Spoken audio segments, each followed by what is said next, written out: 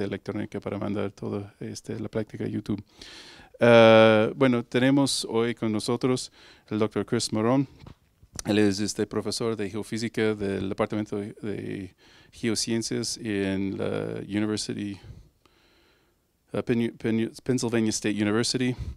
Él este, está al cargo del laboratorio de mecánica de rocas en eh, esta universidad y se especializa en el diseño de la construcción de equipos para este, la medición de alta resolución de las propiedades de las rocas. sus principales intereses son la física de terremotos y la mecánica eh, granular y la fricción y la fricción. Uh, el Chris Moron dirige también el uh, um, Center for Geomechanics, Geofluids and Geohazards y es director del Institute for National Gas Research eh, allá en la universidad. Él hizo su licenciatura en la Universidad de Nueva York, el estado de Nueva York, no la ciudad. Um, también hizo este, sus, estudios de posgrado en Lamont University, eh, donde estaba con Gerardo Suárez, cuando Gerardo era un postdoc ahí, y se conocieron. También hizo un postdoc en la Universidad de Melbourne y luego fue un profesor adjunto en la Universidad de California en Berkeley. También trabajó un rato en MIT y ahora ya están uh, ya en universidad en Penn State.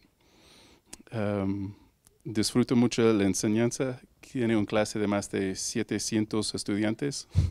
Luego podemos preguntarle cómo lo hace.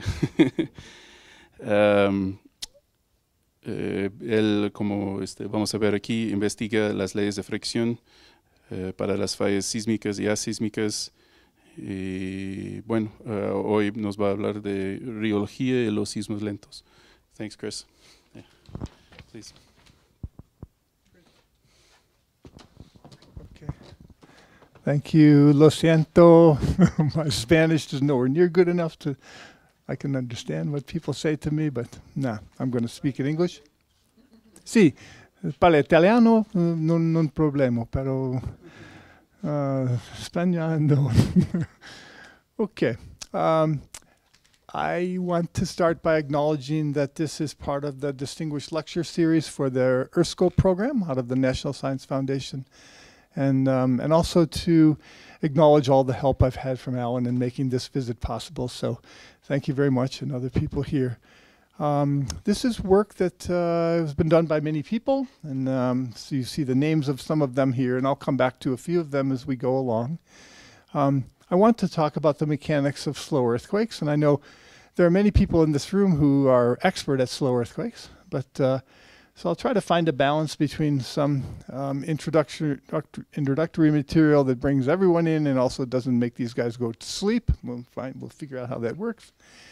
Um, uh, and you'll see a, a big theme. I'm an experimentalist, okay? So I do laboratory experiments, studying frictional properties of material and trying to infer um, something about how those frictional properties could make uh, slow slip work. So a big part of what we're doing is this idea in this picture that uh, you could study something at this scale, 100 microns, look at the frictional properties of this material as a, an analog for the wear material, the so-called fault gouge, and learn something about tectonic faults. Okay, so this picture is, you know, meant to indicate that um, thing. So we'll go from there. Okay, now I need to figure out how to make my timer work. And is it working? Yeah, I guess it is. Um, all right, so now um, I have as part of my title the spectrum of fault slip behaviors, and I want to make sure it's pretty clear what I mean by that. Um, I mean all the things that are in between the top and the bottom of this slide.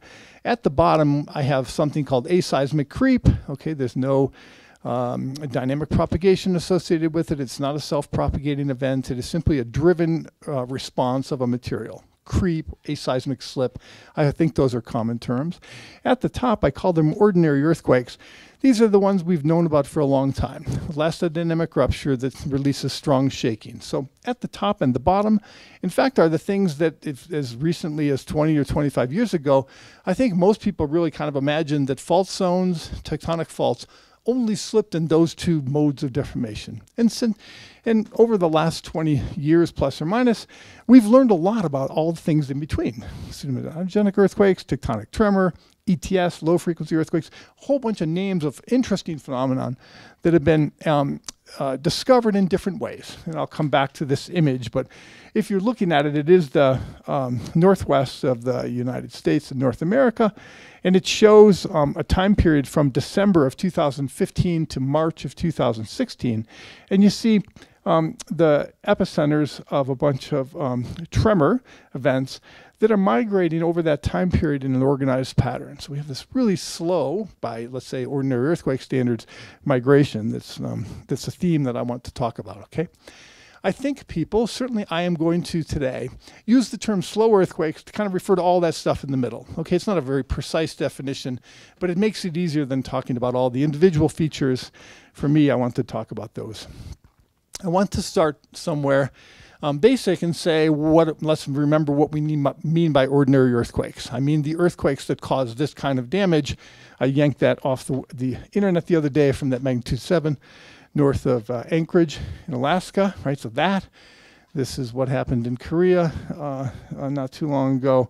And okay, and so maybe this is not surprising the the idea that there's strong shaking associated with elastodynamic rupture, it is energy that's been stored elastically in a rock and released quickly, right? So you know, that's the, on the one hand. And on the other hand, there's this kind of thing. Um, if you've never been to see the Hayward Fault or the Calaveras Fault in California, you should go see it the next time you're around San Francisco. Very interesting to see creep deformation at the Earth's surface. It's certainly the place where creep fault creep was um, first discovered in the United States in, in the 1960s, the late 50s. Uh, the so-called uh, Cienega Winery, for example, is the place. And then um, this is the Cal Berkeley Stadium, which is built right on top of the Hayward Fault in a kind of way that's uh, surprising if you think about the fact that everyone there knows so much about faults. But anyway, the Cal Stadium is being pulled apart by slip, by creep on the, the Hayward Fault, right? But an interesting question, and really a theme that I'll keep coming back to is how do you make this happen? Why are they slow? And you know, I, I want to be precise about that, but I want to also just be simple about it. How do you make something deform slowly? And and let's okay take a, a ridiculously simple picture. This is the the famous um, picture of the San Andreas Fault after the 1906 earthquake just north of uh, um, San Francisco, showing offset along the fault. Okay, so if we take that kind of block diagram, um, on the one hand, we can imagine yanking the side of it. Let's just do a thought experiment. We yank the side of it, and then we let the, the center of it creep forward and slip. Okay, so that, that can happen, right? That, in fact, does happen at some level.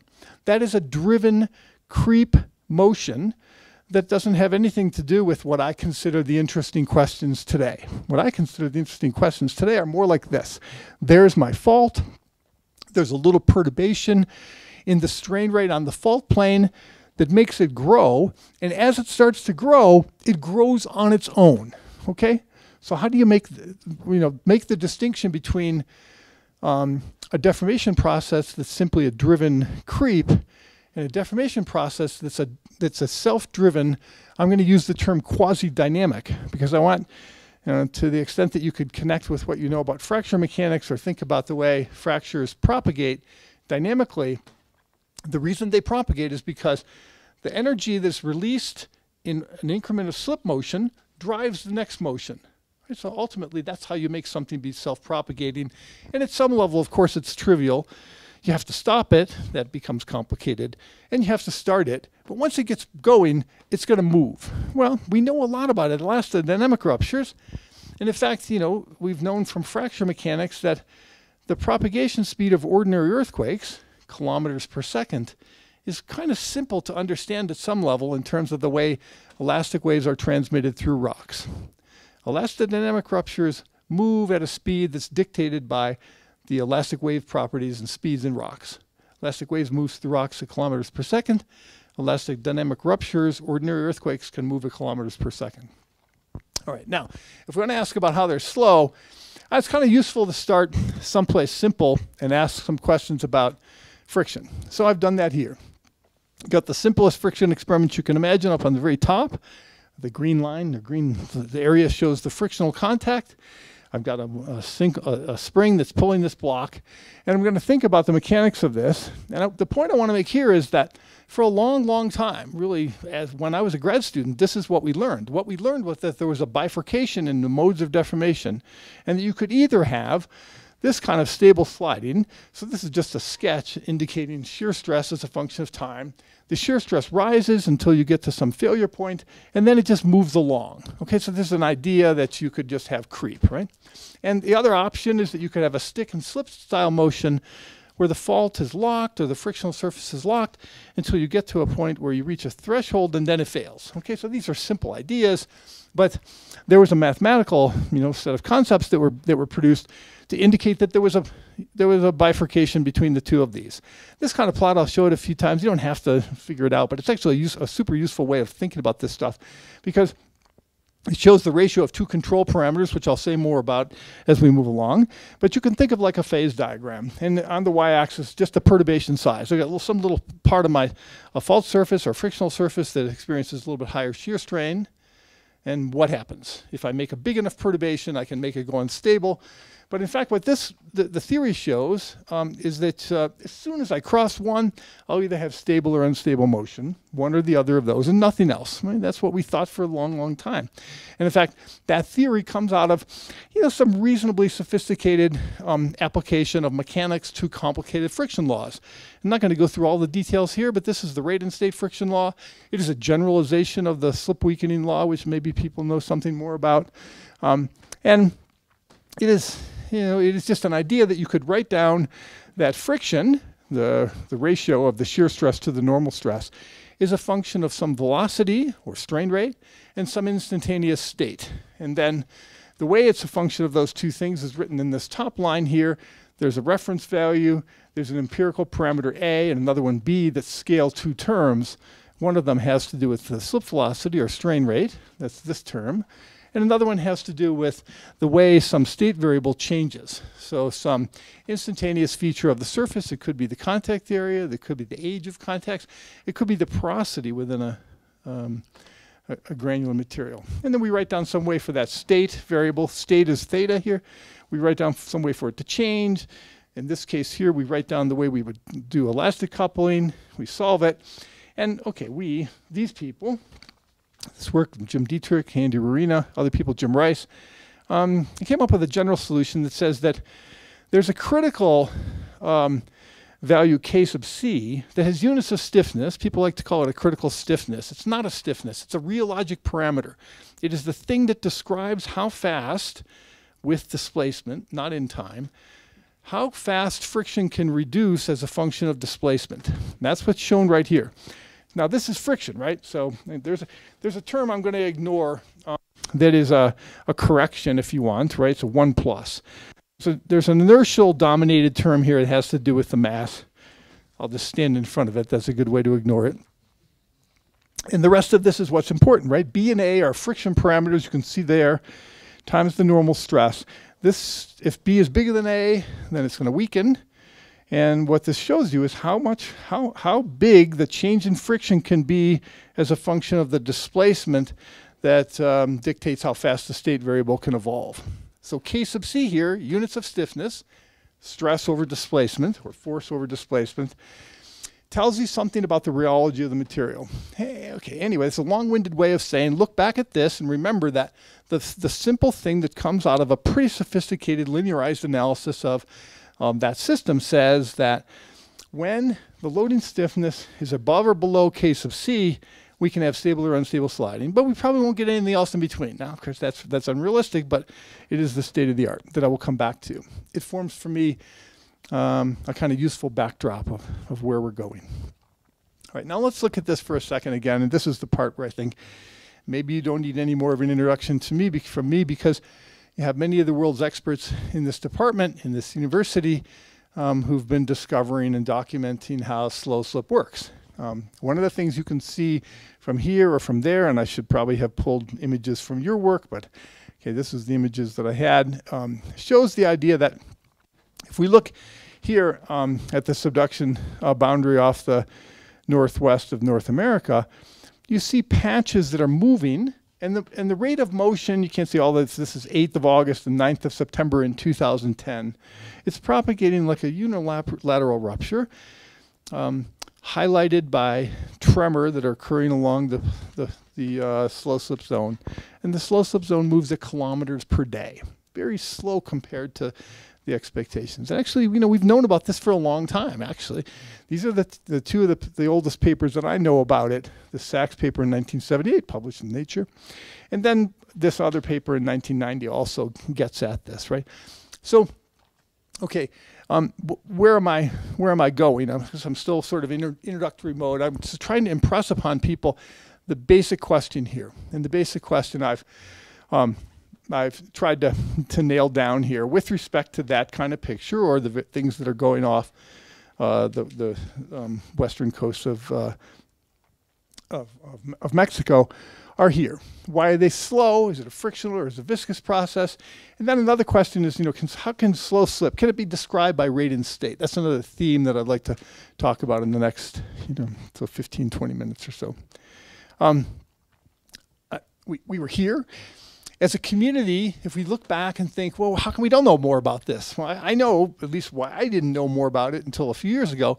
And the answer is because there's very few examples of lab examples of repetitive, slow stick slip. And my friend Paul Silver, who I hope you knew, um, passed away unfortunately in 2009. Um, he was a big uh, leader in the effort to make the EarthScope um, uh, activity happen in the United States. He convened a meeting that I was in, in part of in 2001. And he always asked me this question How come you guys aren't studying slow slip? I said, Listen, Paul, we can't make it happen. It doesn't happen. I thought at the time, I said, Paul, it doesn't happen. Every time we try to make slow slip happen, we get fast stick slips. Fast stick slips in the, in the lab were kind of easy to make happen. They, there, were, there were lots of them. And uh, I was maybe not convinced they couldn't happen. I just knew it must be hard. Know we tried lots of things. We couldn't make it happen, and I never read any papers by anybody else who could, so I assumed it wasn't possible. Well, that's not something I'm going to show you today. Is it's not. So, okay. Now again, before launching into some more details of what I've been doing, just to just to try to summarize why this is an important problem, why you know what the basic questions are. Ordinary fast earthquakes, the rupture velocity is a few kilometers per second understood pretty well in terms of fracture mechanics. Okay, slow earthquakes, the rupture velocity is kind of all over the place. In fact, according to me, there's a spectrum, but you know, what, some of the numbers are kilometers per day, or the particle velocities, right? So fault slip velocities of 10 to 100 microns per second, right? And then there's this really interesting question. you can scaling relations here between um, the seismic moment that's released when an earthquake happens, and the duration of the event, right? So for fast, for ordinary earthquakes, this cubic relationship between the seismic moment and the duration kind of falls out of some pretty simple thinking. Like it, it, it can't be wrong. Okay, there's some there's some factors that we don't understand, but you, when you write down uh, the equations for uh, the slip around a, a propagating dislocation, you get this. Now, there's also this. I mean, I'm just sketching stuff and you know point, pointing this out the way Ide did, et al. did in that 2007 paper. This is slow earthquakes just follow a different kind of scaling relation, and that you know if it's true that they follow a different kind of scaling relation, it implies something significant. You know, and so there's there are two, let's say, basic questions one could ask just by looking at this, right? Are there really different scaling laws? Because if there are, it might imply that there are different physical processes going on. And then, you know, what makes them slow? Or another way to ask this question that I'm going to pull in here, because Alan suggested that I might get in trouble by doing this. I thought, okay, that's going to be useful. I'll do it. Is to say, you know, can you make the same fault patch slip in a slow or a fast event the same exact patch at different times. So that's something I want to talk about as well. Okay, now um, I am going to kind of launch into some more details and tell you some things, and I this is a good time to point out that uh, if you have questions of any sort, just interrupt me. Don't wait. I'm not good at doing what I'm doing right now, which is slowing down for a second. Just start talking or raise your hand. Don't wait for me to stop if you have some question. Um, I, okay, it's a view from the lab because it's a lab-based uh, study. It is it is a view that was let's say you know uh, motivated by Paul Silver's question: How come you guys can't study that stuff in the lab? I'm going to tell you about it now. Um, it is a view about how stress drop varies as a function of slip velocity and stick slip events.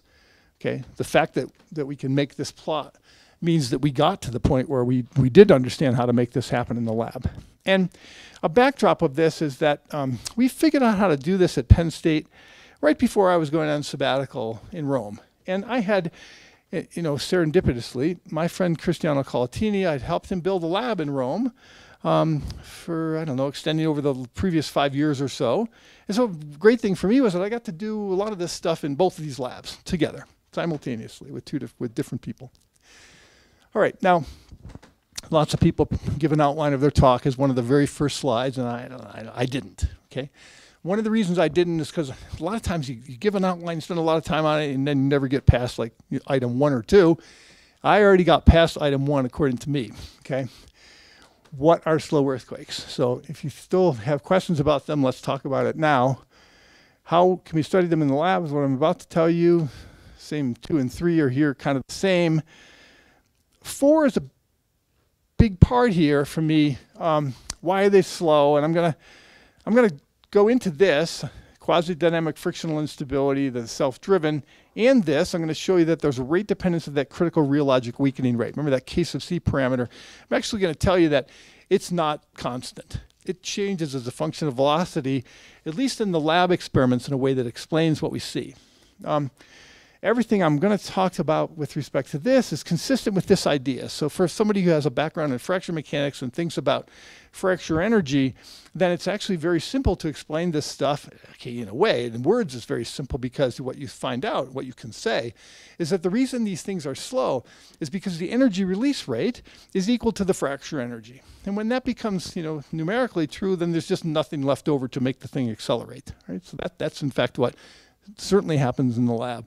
Now, whether that happens in the field, I don't know. Look, is my my my view, and I'm going to you know try to get at how this applies before the end of the talk in terms of that.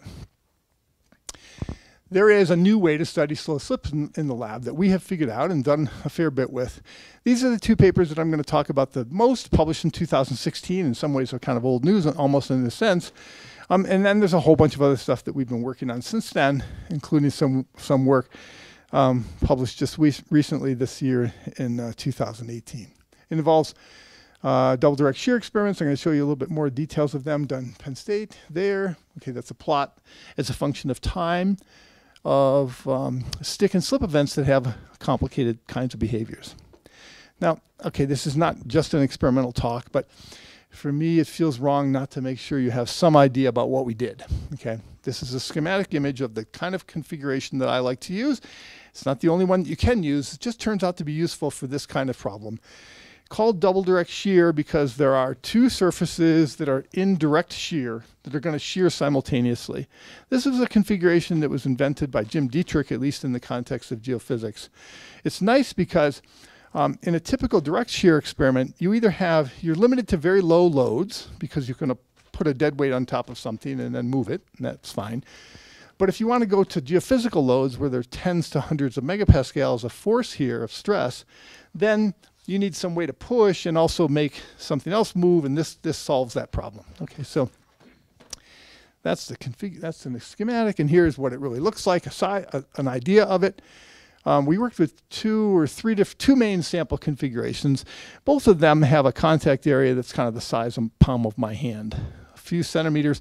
This in Rome is a five centimeter by five centimeter contact area, nominal contact area of the frictional surface.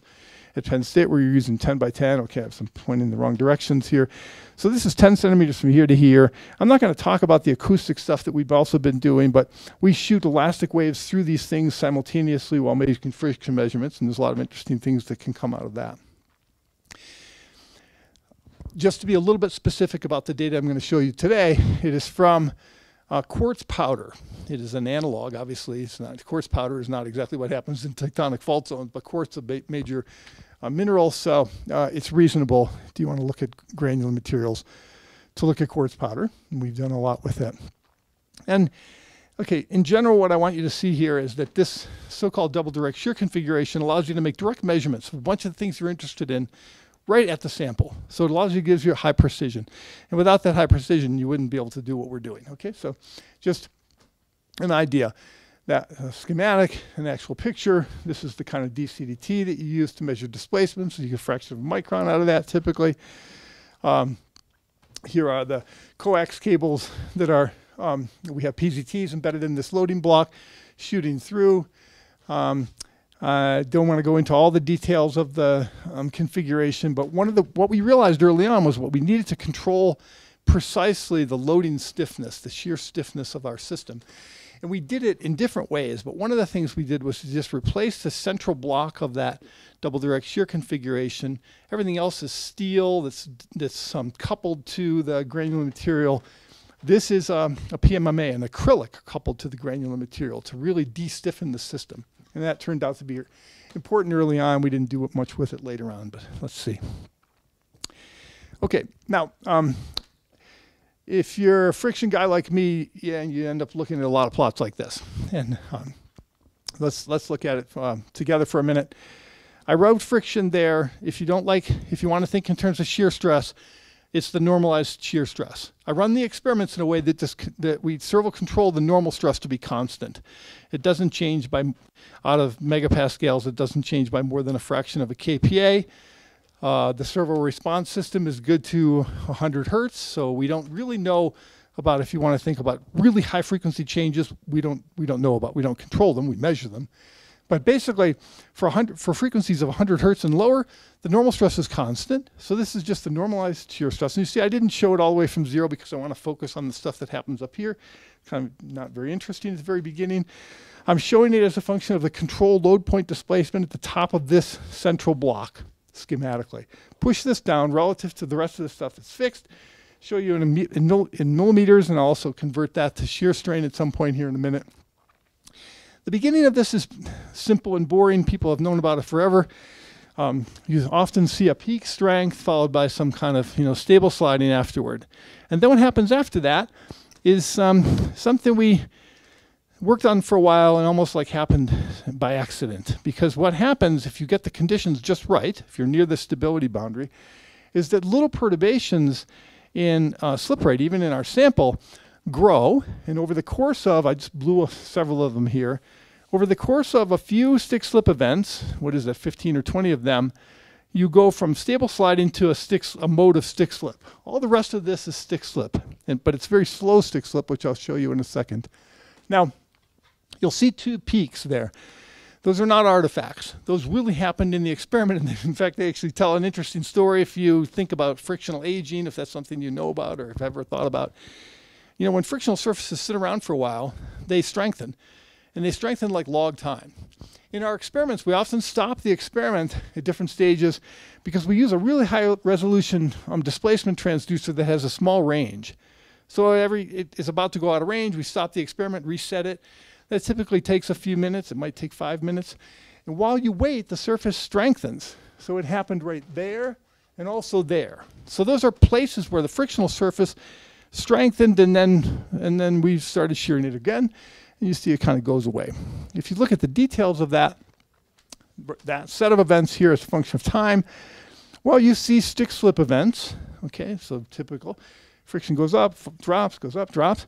And then you see the details of the acceleration history. This is the fault displacement here in microns. That's 300 microns. So we see the fault go from this background rate, where it's basically stuck, we see it accelerate and then slip. So we see, of course, you know, not surprisingly, we see all, all the details, and that's what we want.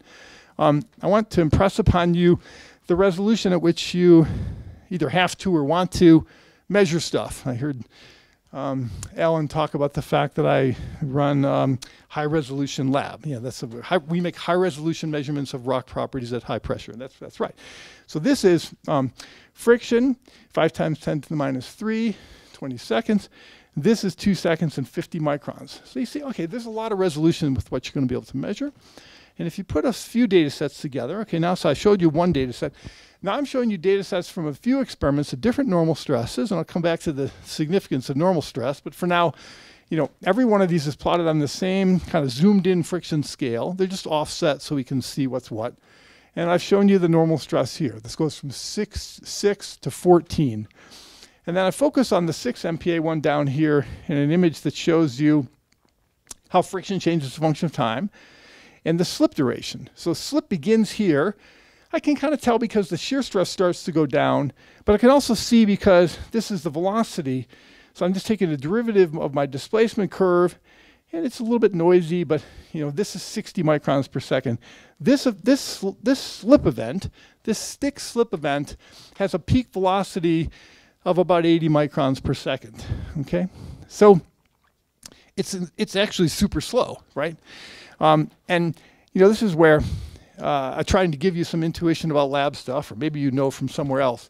At 14 MPa, we get a typical lab stick slip of the sort that I told Paul Siegel, Paul Silver, that um, we couldn't produce. We could only produce those, right?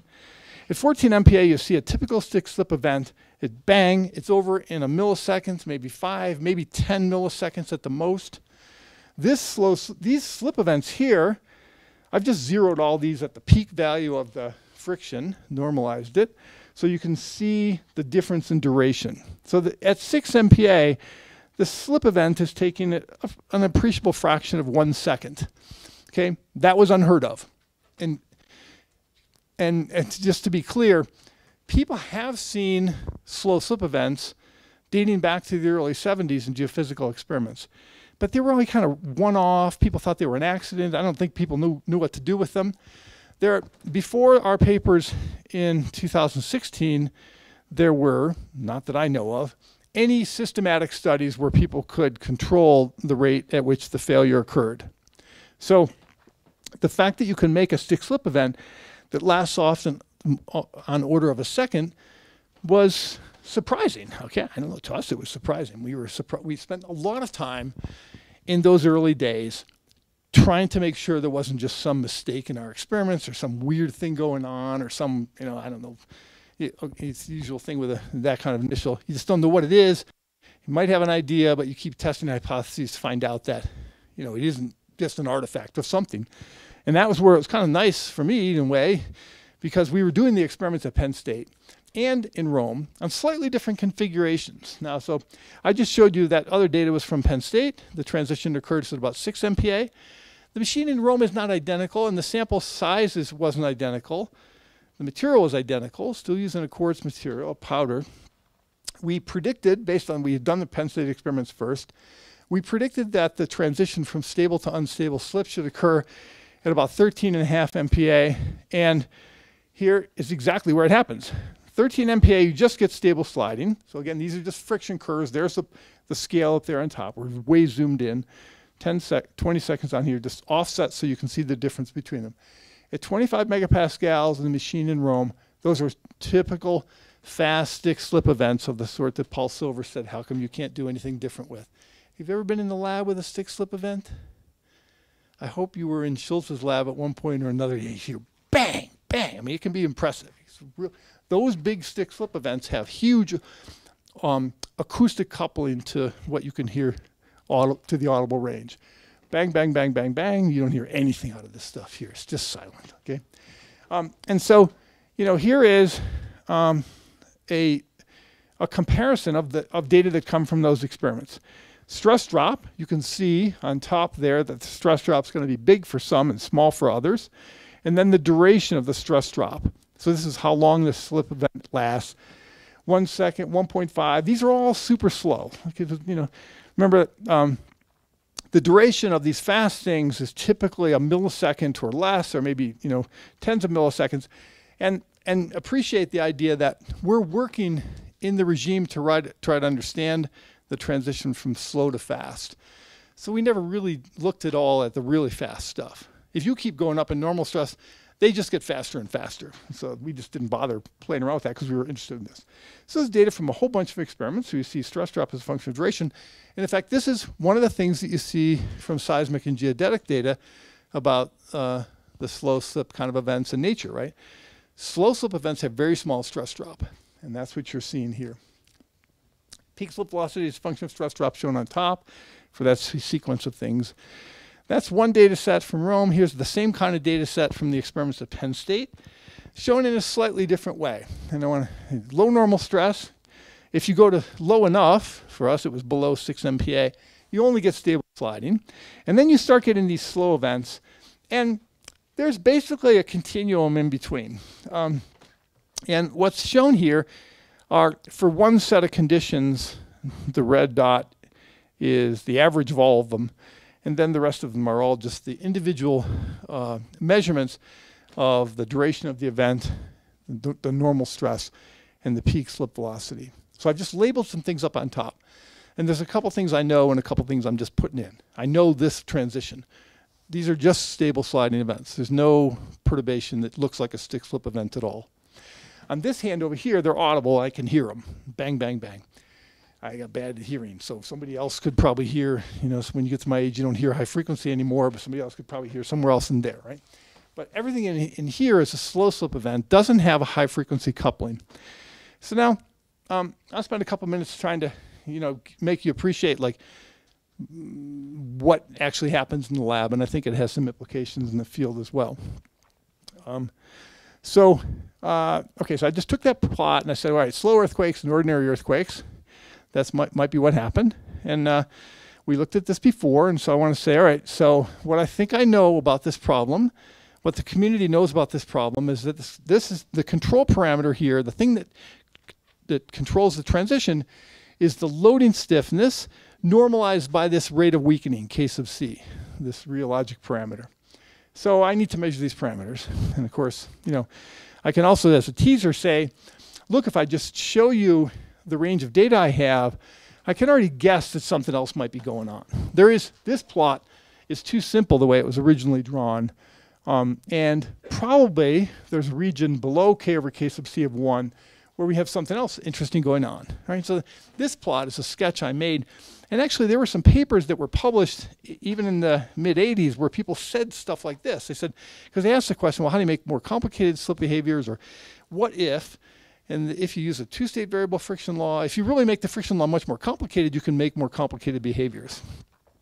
All right, so there we are. Um, simple statement is that if the difference between ordinary and slow earthquakes is defined by this, at least in the lab, then you know, I ought to be able to at least test that hypothesis, and, and I'll show you how it, how it works. Um, of course, when you look at the lab experiment, it doesn't look as simple as that, but it basically is. Our lab experiment is almost as simple as that mechanically. This is the layer zoomed in, so you have a sense about, okay, this is two millimeters, usually a couple millimeters thick. These are the, the imprint, these, this is an SEM backscatter image of the quartz material. You see shear localization surfaces within here. You see the imprint of the grooves that we, that we use to couple to the material.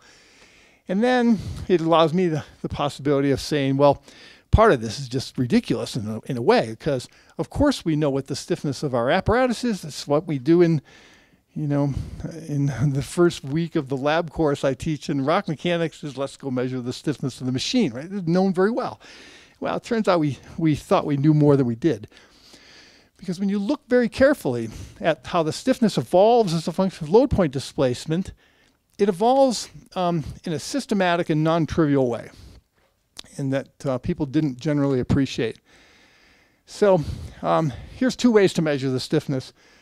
In situ, of the machine with the sample as part of it. Normally when you measure stiffness, and you do it in a calibration, you don't have any sample and everything's easy. So what's done here is to just do load unload cycles. So you drive in, you back up, you drive in, back up, and of course you form a hysteresis curve. And what John Leeman did here was to just run this experiment and measure the slopes of these lines, right? So that is effectively the stiffness. This is the units. between 0.3 and 0.4, and he plotted those up here. Those are the gray lines, gray circles that are shown here. You see two at every roughly displacement because measuring both sides of that. The rest of what's shown on here is just kind of, you know, it's not a sketch, it almost looks like one because for every stick slip event, I also a, have a measure of the stiffness directly. At the end of a stick slip event, there's an elastic period where the fault is not moving yet, and then as soon as the fault start move, starts to move, this curve becomes nonlinear, and that's so you can define the stiffness from everyone. Well, that's what that looks like, right? And you don't see that much in here yet, but what you see is that the the the value is about um, so you know we're going to do these experiments at a whole bunch of normal stresses. We have to take the stiffness, stress per displacement, and divided by the normal stress. And that's what's done right here to give these units of friction per micron. If you like uh, different units, you can imagine, all right, so if I did this experiment at 10 megapascals of normal stress, here's my stiffness, 4.5 megapascals per micron. 0.45 is the number. All right, well, sort of interesting because if I show as a function of shear displacement, what I just, you know, sketch, what I just showed you, this is what it looks like. This is the stiffness, and I haven't shown anything here. I show plus and minus because I'm going to have to go through zero for a reason that'll become obvious in a second. But this is what I see in my experiments. The stiffness increases a little bit and then is roughly constant. So obviously I'm you know just being approximate about that part of it. And uh, I want you to appreciate the fact that that doesn't make sense. In fact, this was one of the things that early, early on in 2015 and early 16 was kind of driving us nuts until we thought of the rest of this problem. Because if the stiffness increases, in K sub C is constant, then no matter where you are, if you're near the stability boundary, you're just going to go towards stable sliding. And It should, predict to get more stable as a function of displacement, not less, right? Well, that's not what happens. And the reason is because this is what happens with K sub C. And I'll show you the details in a second, but I wanted to stick with the schematic for now. So K sub C, and these are the numbers that we have measured. Okay, so for this material in our configurations, I am um, proposing saying, we know what the numbers are. So this transition, right, the predict, the theory predicts that you'll have an instability when the loading stiffness is less than the, the rate of weakening, when K is less than K sub C. In other words, when K, K over K sub C drops below one. Well, we measure these parameters. We know exactly what they are. This is a schematic, but what this says is that, oh yeah, it should be stable up to this point because K is not less than K sub C, and then unstable after this point, right? Because that's what we thought we knew from the theory. And I just wanted, before I go to the actual measurements, point this out, right? This is exactly what we see. Um, because, you know, now I've got things shown as normalized quantities here, but if you put normal stress up there with B minus A, you see, right, so K sub C gets bigger at higher normal stress. And um, so what happens is the transition from stable to unstable happens at a smaller displacement at higher normal stress. It's exactly like what you'd predict from this, right? And then, okay, here are the measurements of K sub C, and this is maybe some detail, but um, this is part of, this is bread and butter for us, right? So we, you know, just, if you run a laboratory that looks at modern friction laws, one of the things you're good at is making perturbations in the strain rate or velocity to measure the way friction responds to that. So we measure B minus A or A minus B. And we also measure D sub C. And in fact, these two plots our community known, knew about for a long time. We, we, we, knew, we could have predicted. These are from our experiments, but we could have predicted exactly what would have happened. D sub C gets smaller, it makes K sub C get bigger. B minus A gets bigger, K sub C gets bigger. So two things are making K sub C get bigger as a function of displacement. And if I pull things all together, you can see it's nicely done by Marco Scuderi um, from the uh, experiments in Rome they are, there's a couple things shown here. I don't know, you, you probably ignore the schematic again there. Here's shear strain in the layer. So displacement normalized, or yeah, shear displacement normalized by the thickness, the instantaneous thickness. And then shear stress for three different experiments at different normal stresses. And what you can see is that at the lowest normal stress, the transition to instability happens at the largest shear strain. The higher the normal stress, the faster it occurs earlier. And then if you take that data and plot K as a function of shear strain. So it's only been done for two experiments here. In fact, it's one of them is not even on there. But of course, here's what I showed you early on is that K goes up as a function of displacement and shear strain. But at 15 MPa, it plots up here, and at 35 MPa, it plots down here. Because this is this is K divided by normal stress, right? So the bigger the normal stress, if K itself is fundamentally constant, then it's going to be lower. That's fine to think about. Anyway, these are measurements. And then what's also plotted on here are measurements, Marco's measurements of K sub C. And they're, you know, there's a kind of gray area because there's some uncertainty in that, and there's um, there's different things that could happen. But there's there's there's a cloud that shows that, yeah, right here, um, K becomes less than K sub C, and then you have to go to a higher shear strain for that to happen at lower normal stress. It's exactly what happens. So, in in a way, like um, part of what we ended up doing with this was proving to ourselves and let's say the community that the rate and state formalisms and the mathematical things that have been done to try to predict the stability transitions work incredibly well, at least at the lab scale. This, these kind of lab observations of repetitive slow slip, they show a complete spectrum and they're completely consistent with theory. Okay, let's say a modified version of the theory or the most complex theory that was available. They're not consistent with the old idea that there's a bifurcation from stable to unstable sliding. They're, they're, they're consistent with a much more complicated version of that.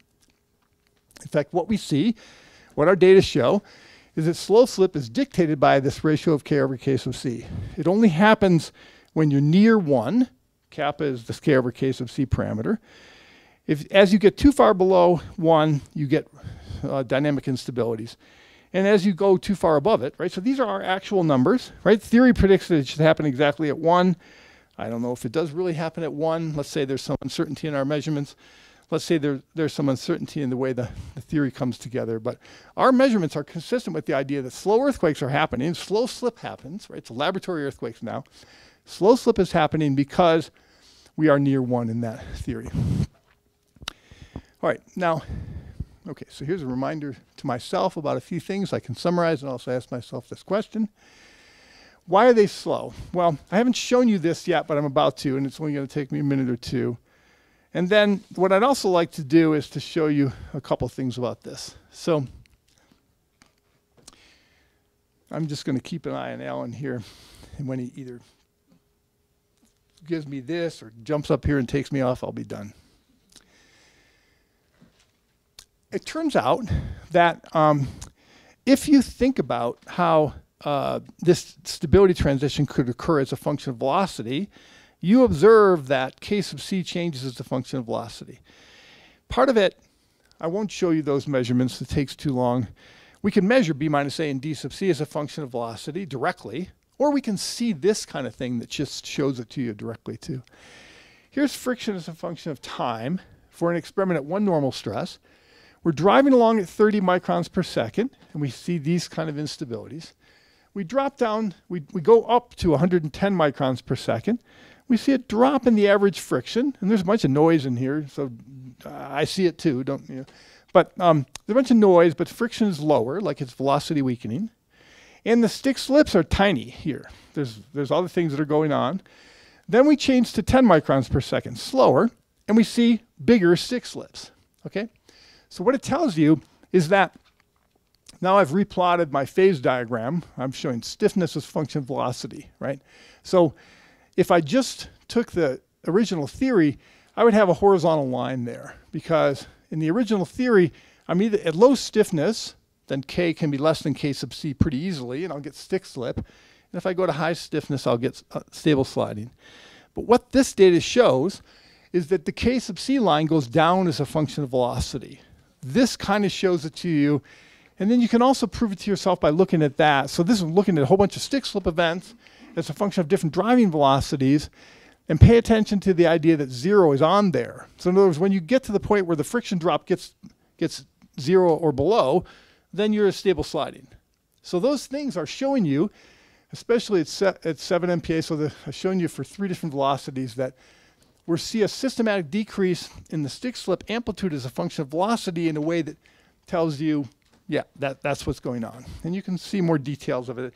I'm only going to spend just a second on this plot so that you can get a sense about what has to go into this. If you're a curious experimentalist, I don't know, you're always worried that something you're looking at, some artifact. So you do a lot of detailed things to, to prove this.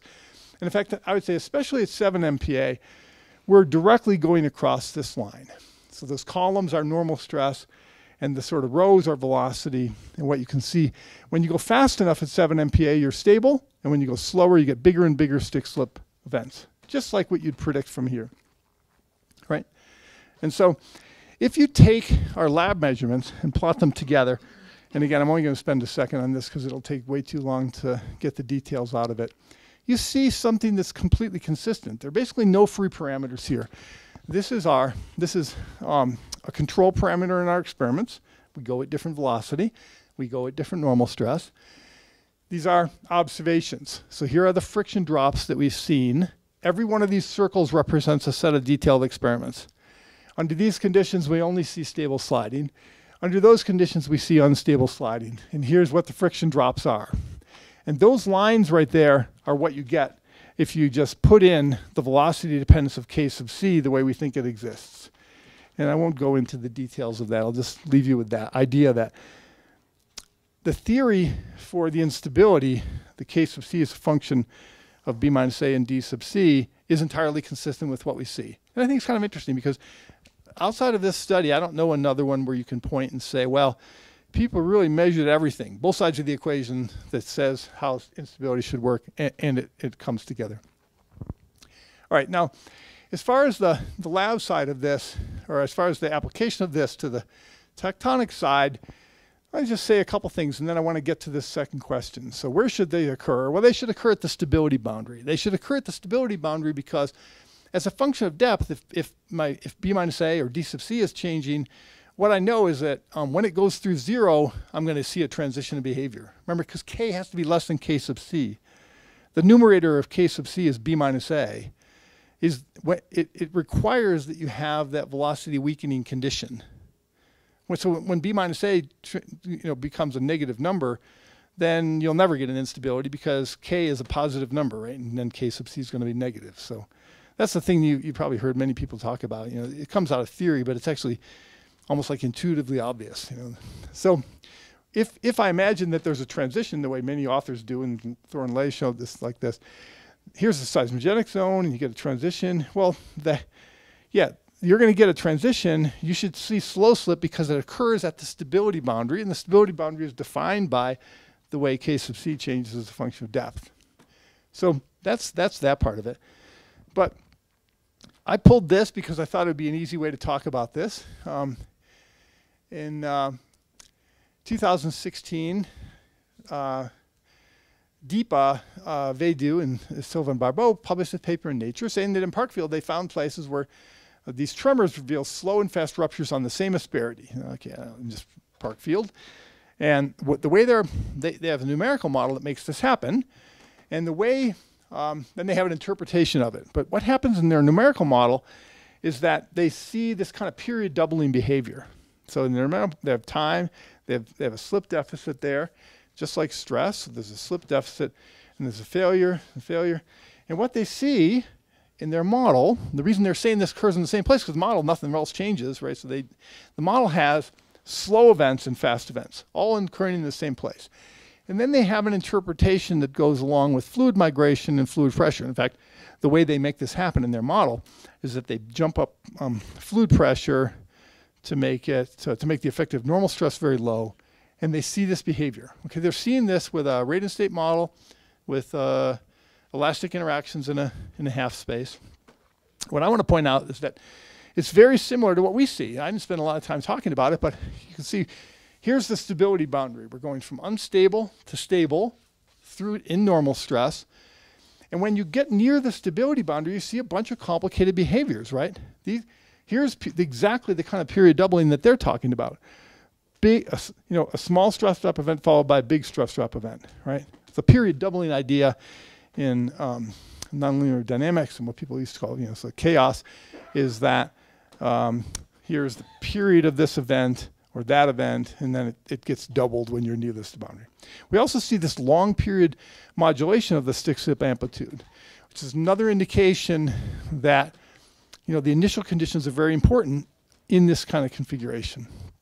So now what I'm going to do is come back to this and say, ah, yeah, look, when you know, I, I see this continuum of behaviors in um, the lab, and what I can tell is that, that normal stress is very important, right, so I, also velocity is important for the rest of this, but normal stress is very important. So if I can play around with normal stress and I do it in a way that nothing else changes, then I can dictate exactly what will happen. And that's exactly what's happening in their experiments too. In their experiments, uh, their numerical experiments, they are increasing pore pressure locally to make it to make the effective stress almost zero and then less than zero. They, and they're doing it with a with a, a fluid pressure mechanism. So their their work is exactly consistent with what we see in the lab. Okay, and, you know, so now we have to project to make it happen in the Parkfield asperity, but in the lab, we have you know one fault surface, and depending upon whether we're on one side or another of this boundary or another one in here, I'm going to see a slightly different kind of behavior. This is a dramatic change from stable to somewhat unstable. But for every change I make in the effective normal stress, I get a change in the, in the behavior. So it's not at all surprising to me that I could get the same fault zone giving me this range of behaviors because I simply need to be able to play around with the effective normal stress. Well, that's one interpretation. Okay, now I just want to um, wrap up with two or three kind of summary things. And the first summary thing for me here is to say that okay, let's we're no, let's let's just get it out there. And I hope somebody will. People usually ask me about this. You know, yeah, your experiments are so incredibly simple. How could they mean anything in nature?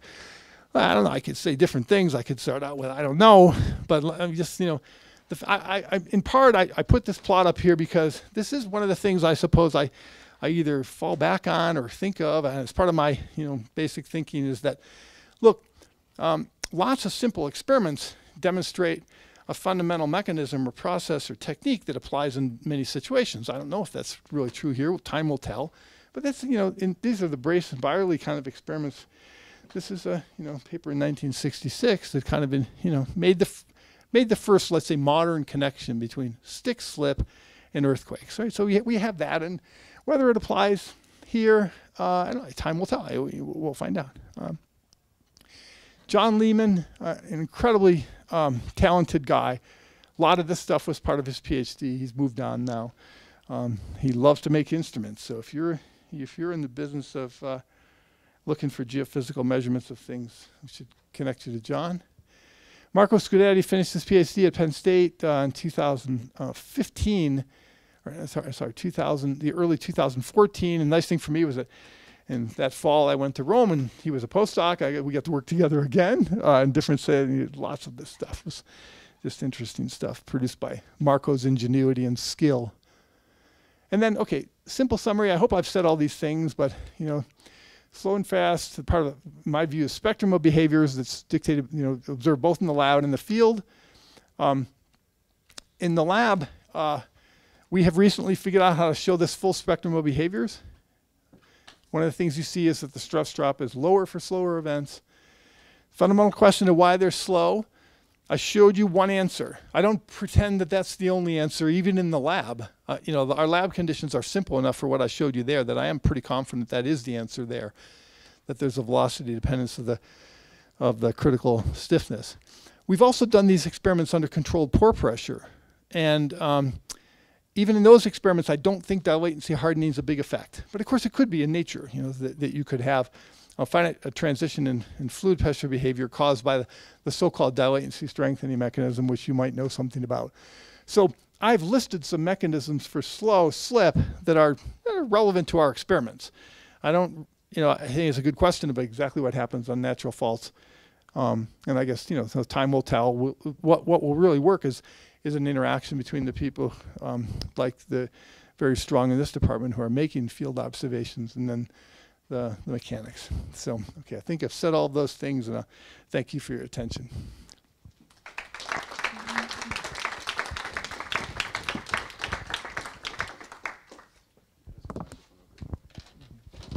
Okay, so we have time for questions. All questions have to be through the microphone, so we can also record this since it's being recorded. So um, if anybody has a question.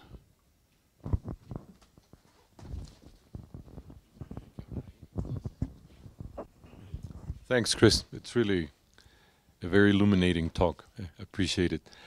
Uh, could you speculate why the Hayward fault is creeping?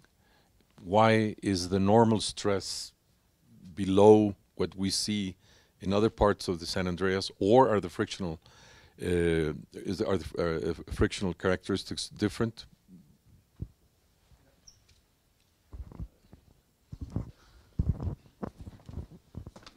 Yeah, interesting question about. So why is the Hayward Fault creeping, or maybe why in general, a lot of places, the, the creeping section of the San Andreas Fault, why does it creep? Um, what what we know about other places is that the creep is connected to particular um, mineralogy within the fault zone. So the idea that the normal stress is below the, value still applies, but the frictional properties of the material in the creeping section, and I suspect the, the Hayward Fault too, are such that the materials are basically just velocity weakening or velocity neutral. That B minus A never becomes a positive number. And, and at least where we drilled in SAFOD, which was part of the, the EarthScope project. So, okay, I wasn't, we drilled. I didn't do the drilling, but we were involved um, fundamentally in, and made friction measurements of the, of the samples that came up. And at least in the shallow part, three kilometers, the, um, the frictional properties are, are inconsistent with uh, unstable sliding and um, there it is basically the answer. The, the answer is that um, the necessary and sufficient conditions for instability are just not not present. Now, you know, another way to ask that question is to say, well, what would it take? And and that's where I would come back to some of these plots that we have. Maybe I just will sketch back to one here. Um, so what this plot says, this is the perturbation size. So we can think of it on a fault that's stably sliding maybe I find some little region where the strain rate starts to, to um, get a little bit larger, and that's a small perturbation. So if I'm here, um, um, it, you know, if I'm here, no matter what, any tiny perturbation is going to grow into an instability. But if I'm somewhere in, be, in here, then most perturbations that the fault sees won't grow into an instability unless there's an earthquake nearby that propagates into there, and then I get effectively a huge instability. And that, so that could happen. So you asked me to speculate. I did. I don't know. I could have said I don't know because I don't know. The Hayward Fault is a good question. Thank you. Thank you very much, Chris. Um,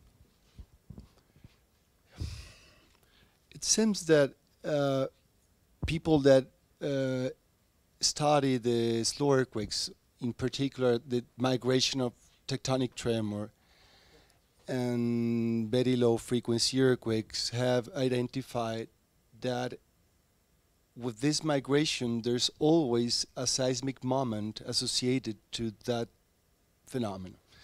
So there's something happening in the matrix of the fault zone that, that, that apparently is triggering those uh, small patches, uh, radiating tremor. so uh, it seems then, and, and that happens during the occurrence of large, larger scale slow slip event. So it seems that there are secondary slip pulses propagating on the same fault that is already slipping uh, in a stable manner as well, because these slip pulses are not radiating seismic waves. Uh, so that you have two different patterns of stable slip in the same patch. So as you mentioned, there are people that are integrating uh, rate and state friction loss with a couple, two uh, uh, um, uh, state variables in order to produce reproduce this kind of, of, of observations. But uh, my question is based on what you have shown, it seems that if you uh, find out a mechanism that perturbates the normal stress in a suitable way, you may have different sleep behaviors, stable sleep behaviors, explaining what, what the observation is. So, what do you think? So, all people studying slow earthquakes talk about the presence of high pressurized fluids. No, we have evidence from tomographic images or many different things.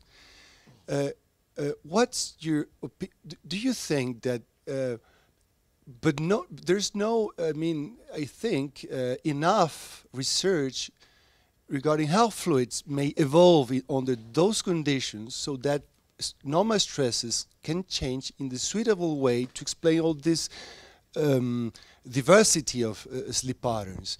So, so which direction you think is today more necessary to go?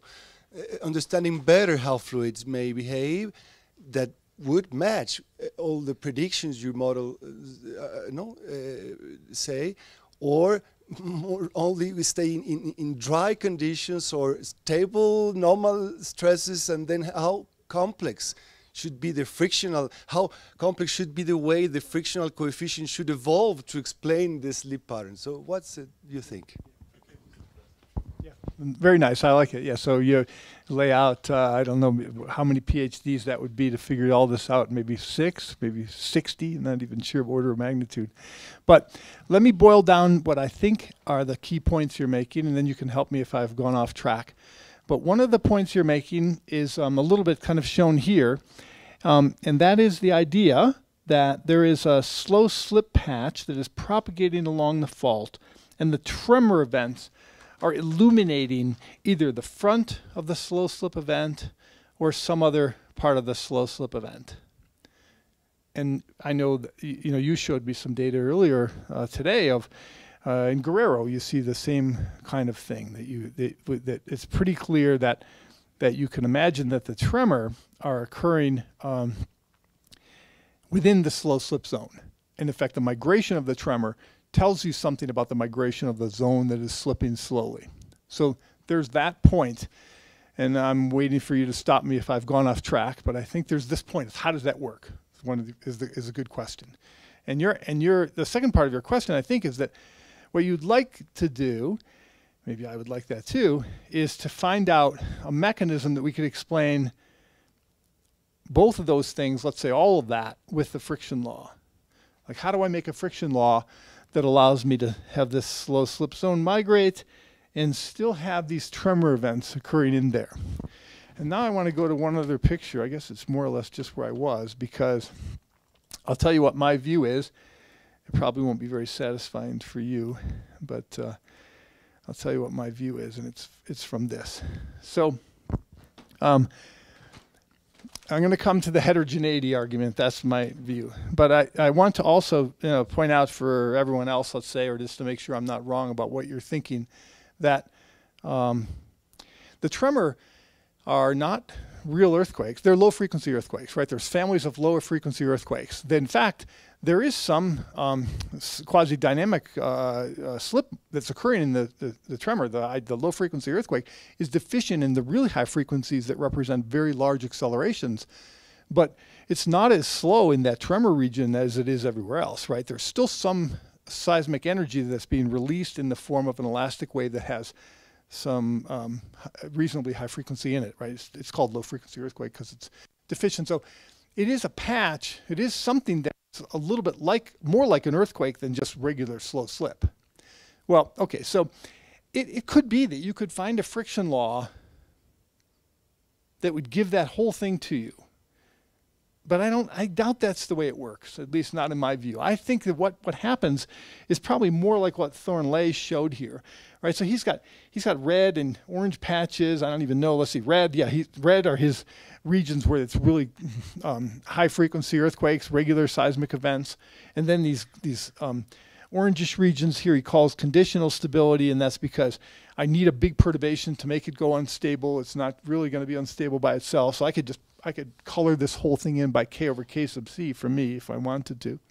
And then I get down below here where I just have some tiny red patches in what is otherwise called um, white here would be unstable uh, creeping regions.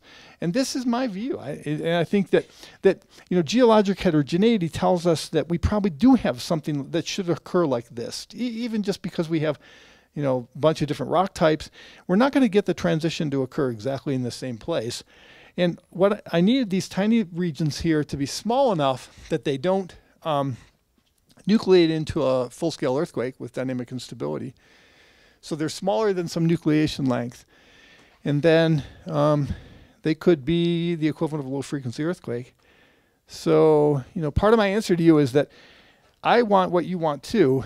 I just don't think I'm going to get it out of one friction law. I'm not going to find one friction law that's going to explain all those things. I need to bring into, you know, I need to account for heterogeneity and other things. And if I wanted to explain it in terms of friction, I can just think of it in terms of K over K sub C. Of course, you know, if I wanted to think about fluid pressures, then I could have compartmentalized regions producing my heterogeneity. That might work for me.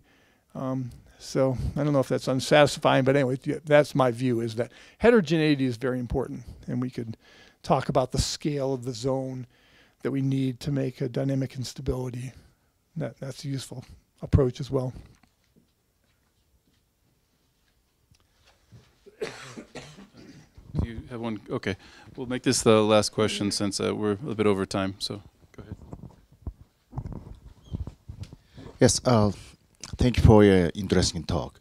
Uh, if uh, slow slip only probably mainly controlled by uh, uh, normal stress or K or K sub C, relationship K and K sub C, in my understanding, uh, scaling law should change gradually or or continuously from slow slip event to the ordinary earthquakes.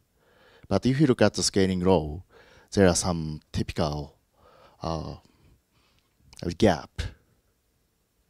Mm. How, how do you explain this kind of gap?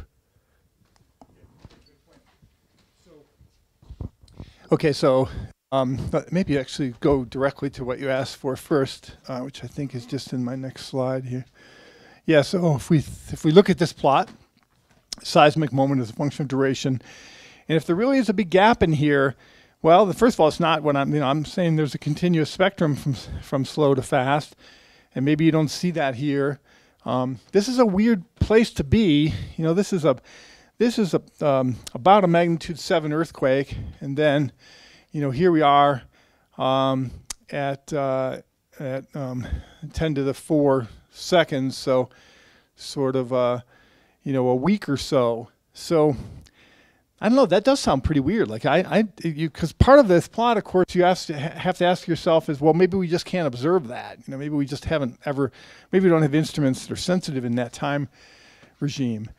But I don't think we'd miss a magnitude seven event that um, that took uh, a, a week or so. So it could very well be that there is something else that's compartmentalizing, that's quantizing this diagram. But, you know, as you probably know, there's a lot of controversy about this diagram anyway. I mean, what I told you about this diagram, at least in the lab view, is that there's no difference in the frictional mechanisms of, the, of what happens in the lab. We see the complete spectrum from here to there with the same frictional mechanisms produced simply by um, being uh, closer or farther from the stability transition. Now, whether that really applies in nature, I think you've got a good argument. I, am I'm, I'm not convinced that we that we really know that there's a cont continuous spectrum in nature, at least not looked at like this. You know, on the other hand, when you think of all the range of things that have been seen, tr slip transients, long-term slow slip events, short-term slow slip events, when you start thinking of it that way, certainly start. It sounds like a, a continuum, doesn't it? So. That's a good question. But another part of your question, I just want to spend just a second talking about is is this, and that is, you know, here um, what I, you know, really focused on a lot was K over K sub C and the importance of normal stress, because I did it experimentally by using a system where B minus A and D sub C didn't change much. You know, they changed a little bit in a way that I wanted to, to change, right? So, so it maybe paints the wrong picture. Like in nature, all these things are going to change as a function of mineralogy and position too, and they'll have a huge influence also. Okay, thank you. Yeah, so uh, let's thank our speaker again one more time. Thanks. So that concludes everything here. Thank you. Bye bye.